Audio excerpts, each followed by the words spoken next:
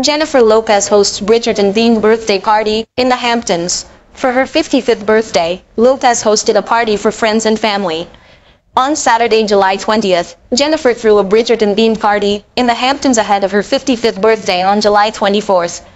Workers were photographed, setting up for the event, with a horse trailer, ballet, security, waiters and more present outside of where the party was being held.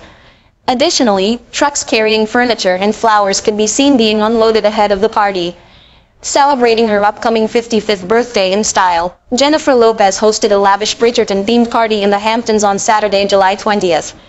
The singer and actress, known for her elaborate celebrations, gathered with family and friends for a regal affair ahead of her birthday on July 24th. The event was marked by royal escutire as guests arrived, with Lopez's mother, Guadalupe Rodriguez, stunning in a blue gown adorned with white lace detailing. Workers were observed setting up for the festivity, which included a horse trailer, ballet service, security personnel, wait staff, and deliveries of furniture and floral arrangements. Ahead of her party, Lopez shared a cheery post with a positive message on Instagram. Alongside three selfies, this is me. Now the musician wrote that it was gonna be a great day, as she wished her followers a happy Saturday. For her birthday last year, Lopez gave fans a Lil peek into a party that she and Affleck, 51, held at their home with our closest family and friends.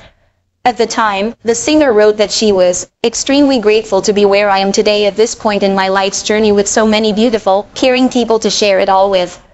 While Lopez continues to celebrate with loved ones, including her mother at her side, observers await further developments in her personal and professional life.